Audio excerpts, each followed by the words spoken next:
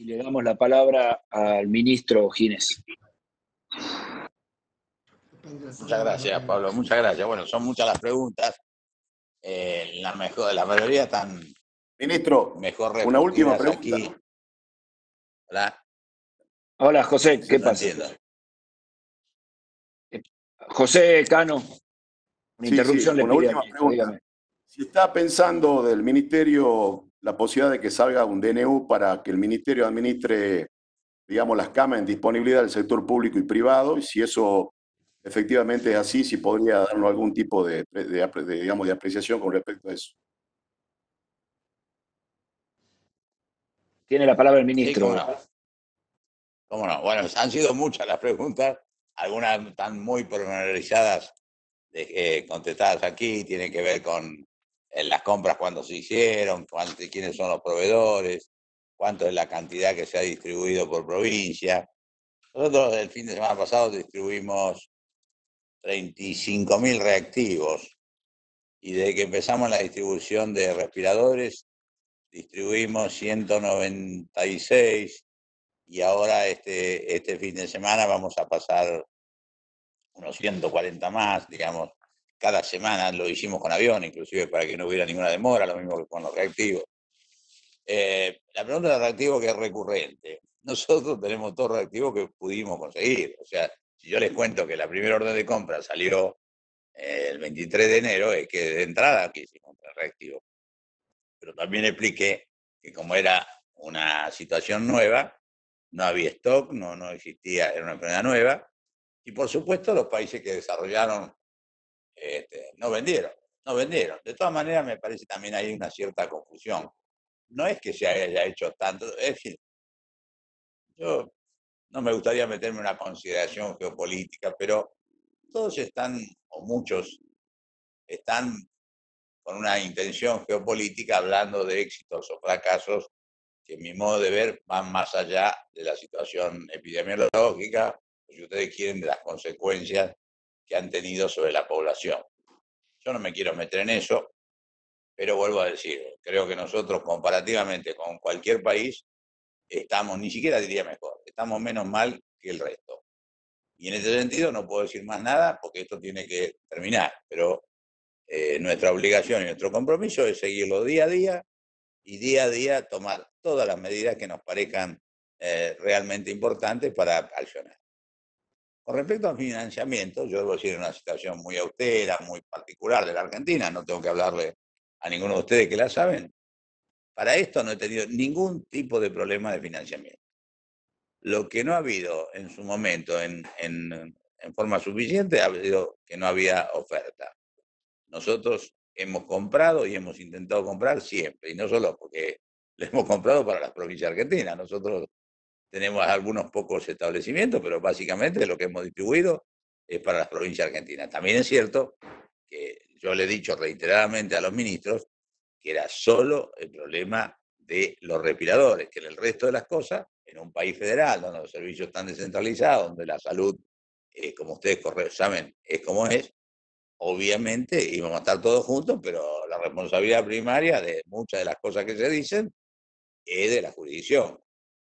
Eh, y en este sentido, sin perjuicio de buscar eh, la máxima capacidad eh, de compra y vamos a distribuir todo lo que compremos, no quiere decir con esto que seamos responsables primarios de muchas de las cosas que algunas provincias no tienen. Es cierto que hay una situación de desabastecimiento, pero el Estado Nacional está tratando primero de estimular toda la producción local. Como pasó con los respiradores, y hay un montón de grupos técnicos, científicos y productivos que están en una escala absolutamente distinta a la que llamé antes, porque la que, la que dije antes es la que es segura. La otra eh, está con mucha potencialidad, pero todavía no se puede concretar, por eso ni hablo de ella. Pero en este sentido, reitero, nadie le puede echar la culpa, eh, por lo menos en mi caso, yo no puedo decir que lo que no hay es porque no tuve presupuesto. Lo que no hay, o porque yo no supe hacerlo, o porque eh, no tuve provisión. Creo que básicamente fue eso. Lo que no hubo es FOSFER. Con los respiradores, con los reactivos, ¿por qué se distribuyeron tan tarde? Porque no había.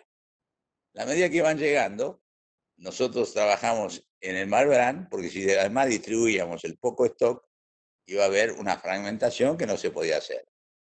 El Malbrán siempre procesó todo lo que llegó. Y el procesamiento del Malbrán es que llegaba al día anterior y el día siguiente se ejecutaba. Nunca estuvo eh, rechazando ningún tipo de, examen, ni nunca postergó ningún examen. Lo cual no quiere decir que a veces por la llegada, porque creían que había venido y no había venido.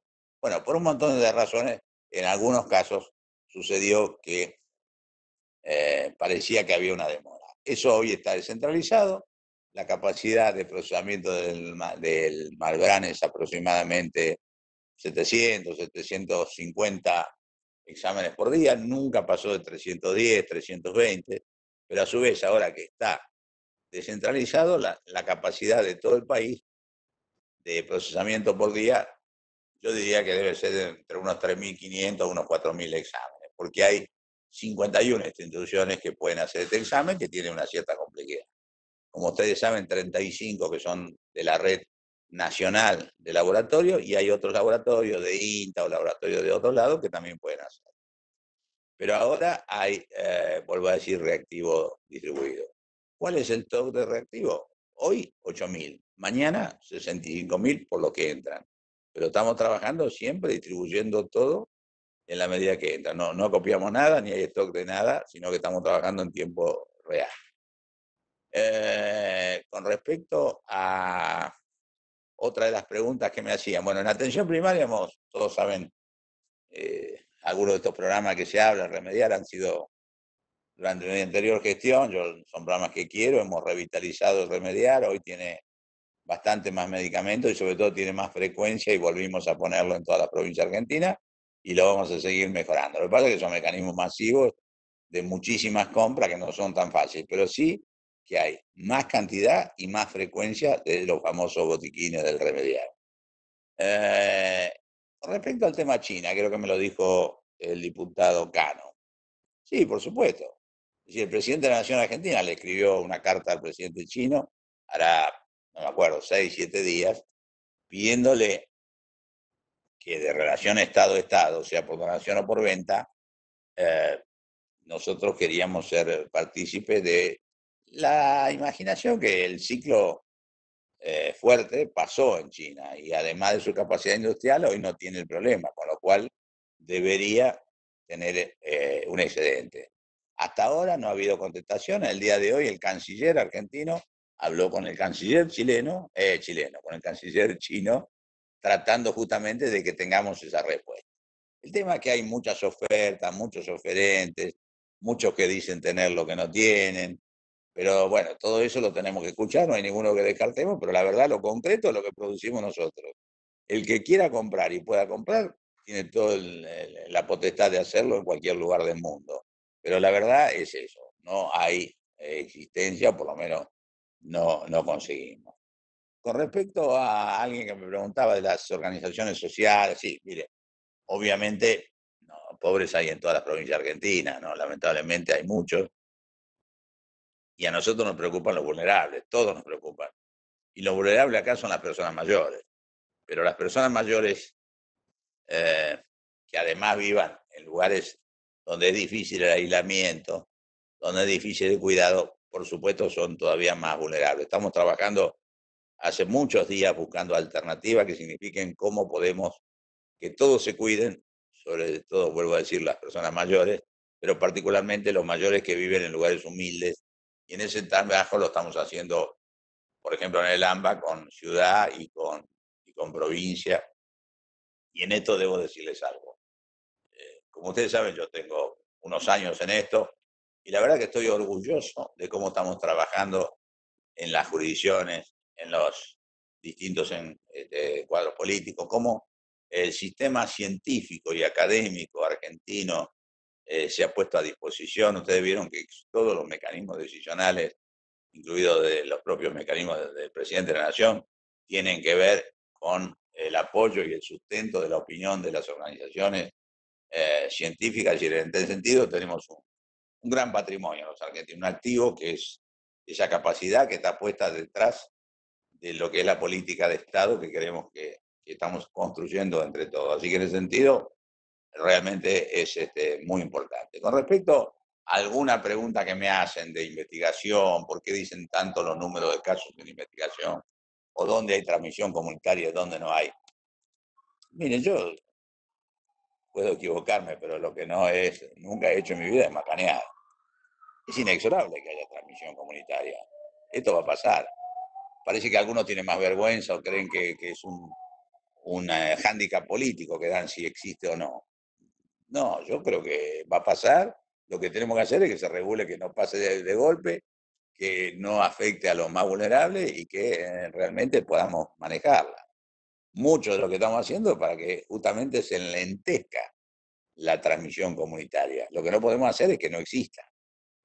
Y en ese juego, entonces, muchas veces lo que se ponen como caso de investigación que nosotros registramos, no porque lo estemos investigando nosotros, sino porque las provincias dicen que tienen esos casos de investigación y nosotros lo único que hacemos es la suma de todos, en realidad me parece a mí que si bien la investigación determina finalmente si el caso es comunitario o no, creo que hay muchos de esos de investigación que van a terminar siendo de circulación comunitaria. Pero vuelvo a decir, no me parece un tema tan fuerte como para hacer de esto una, una cuestión central eh, porque esto es una cuestión que, lamentablemente va a pasar. Aunque también debo decir, es difícil explicar esto. Uno tiene que regular la transmisión comunitaria, porque la única manera de tener inmunidad por esta enfermedad que no tiene vacuna es que haya gente que se haya, que se haya infectado y que haya pasado sin, sin consecuencias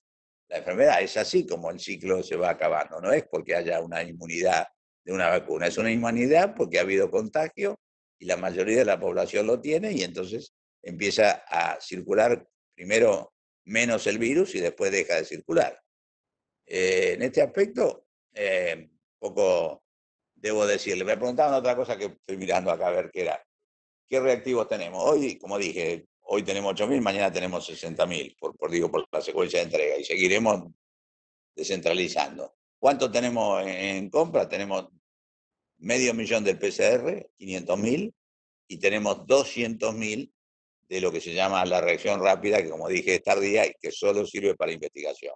¿Cómo la vamos a usar en investigación? La vamos a usar en investigación para ver cómo está el grado de circulación del virus dentro de un tiempito. Esto lo hemos trabajado con todos los epidemiólogos, la sociedad científica.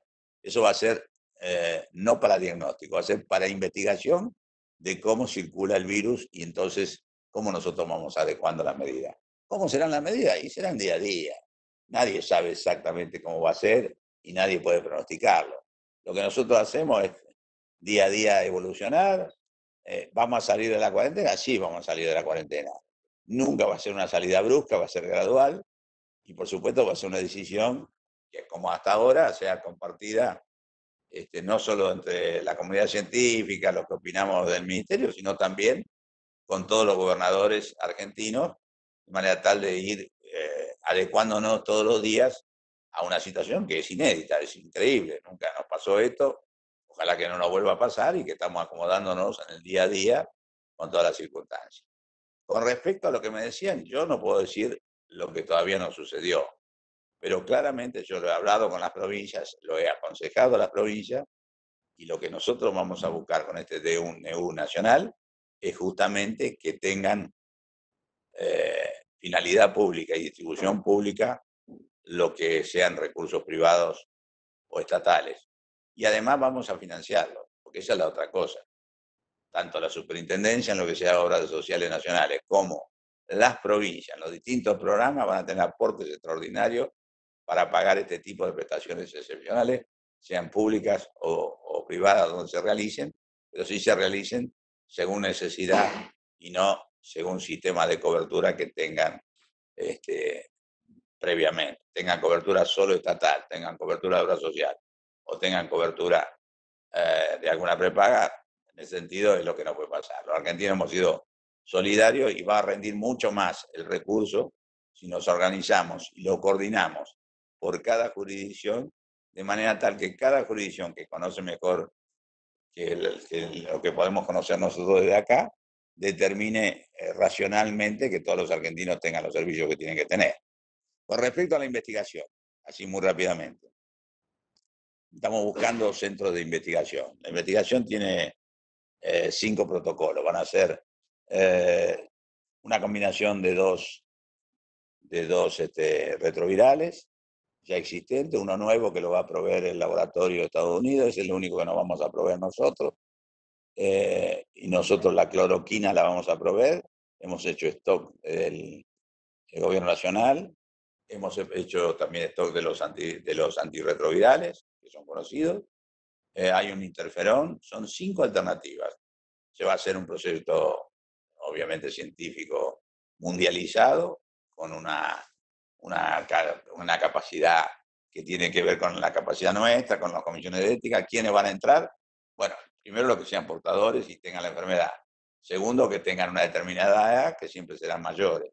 Tercero, que obviamente quieran entrar voluntariamente en, este tipo de, fenómenos de investigación. Y por supuesto, con todas las connotaciones, los, los, comités de ética y todas las cosas que se hacen cuando se trabaja en, una, en un estudio clínico de esta, de esta jerarquía, que, bueno, Argentina felizmente tiene capacidad previa para hacerlos y tiene historia, de manera tal. y ojalá que los resultados sean rápidos. Lo que nosotros tenemos que garantizar, mientras tanto, es que aunque antes de esto salga o no salgan los resultados, aún antes de esto, nosotros tenemos hoy eh, hidrocloroquina, hoy tenemos los es decir, que nosotros vamos a proveer a los enfermos que así lo necesiten, que van a ser siempre enfermos serios, el, recurso, es decir, la medicación. Lo que no puede pasar, que como salió en, alguna publicación, que esta droga, la, hidrocloroquina, eh, termina siendo útil, la gente va a hacer esto, se lo hemos dicho hasta el cansancio. Eso, como cualquier medicamento, si no está indicado, no es que no haga daño, hace mal. A su vez, es para enfermos graves, se usa solo en internación. No sirve ir a la farmacia y comprárselo y meterlo en el bolsillo. Se deja sin medicamentos a personas que lo necesitan por una patología que sí está indicado.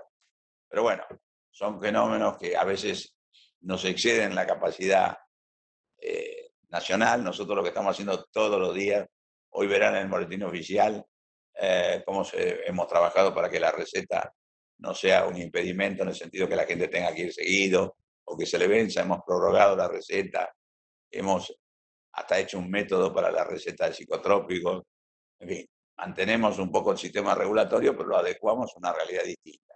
Por supuesto, vamos a tener que mandar una ley rápido, o la van a tener que hacer ustedes sin que la hagamos el proyecto nosotros, para adecuar la ley de farmacia, porque lo que hicimos fue una excepción a la ley de farmacias para que actúe rápidamente.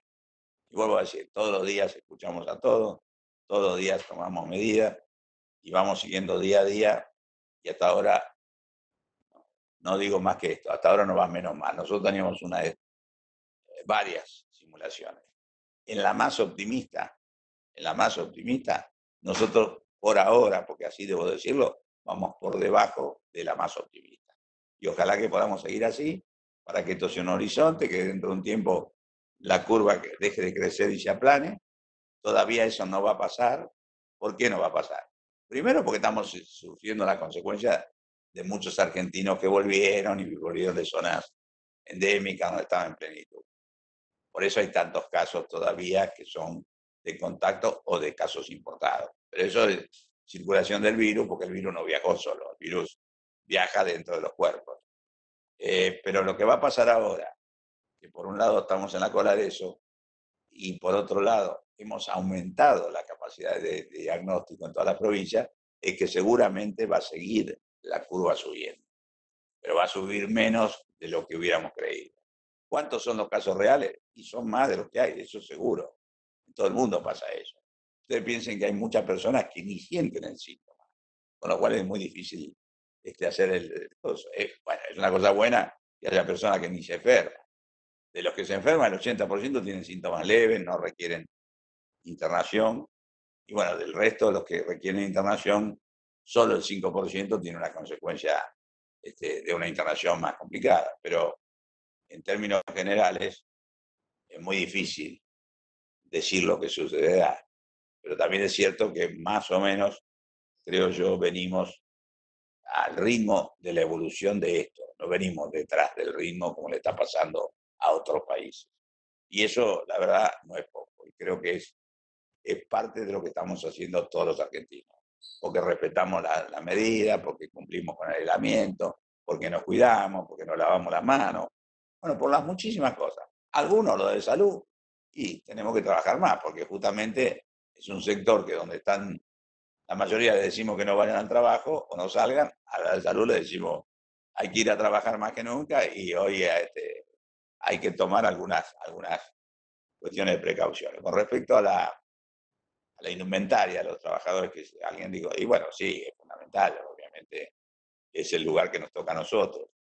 Eh, también es cierto que hay bastante dificultad. Entonces hemos puesto a toda la industria textil, hemos hablado con las cámaras, a que empiece a producir eh, ese tipo de insumos. Porque si algo nos está enseñando la crisis también, es que tenemos que pensar mucho más en los temas de soberanía, de, de producción local, porque claramente este mundo que era tan globalizado y que todo se conseguía en algún lugar y a veces se decía que era más barato en otros lugares que acá, dejó de pasar.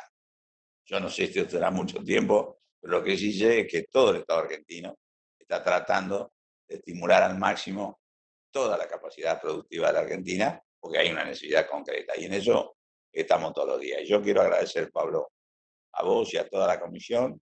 Ustedes saben que siempre me he sentido cómodo cuando hemos compartido, nunca así, porque otras veces ha sido personalmente. Agradezco la celeridad y diálogo que tuvimos a principio de año cuando tratamos la ley de emergencia. También estuve hace poco en la Cámara cuando todavía podíamos vernos cara a cara con los bloques. Y por supuesto estoy siempre disponible, sea en conjunto, sea de a uno. Me llaman por teléfono. A veces puedo no en tiempo real contestar porque, bueno, obviamente no, no, es, no nos sobra tiempo, pero nada más. Y para eso estamos. Y vuelvo a decir, estoy orgulloso de cómo estamos trabajando todos lo que tenemos que mirar es, lo que viene. Porque para atrás a veces hemos mirado mucho y yo siempre digo lo mismo. El pasado puede tener beneficio para uno y para otro perjuicio o distintas visiones. Pero hay una cosa que es segura. No lo podemos cambiar. Lo que podemos cambiar es el futuro. Y es lo que estamos intentando todos los días trabajando intensamente. Así que muchísimas gracias. Muchas gracias, señor ministro Ginés. Muchas gracias.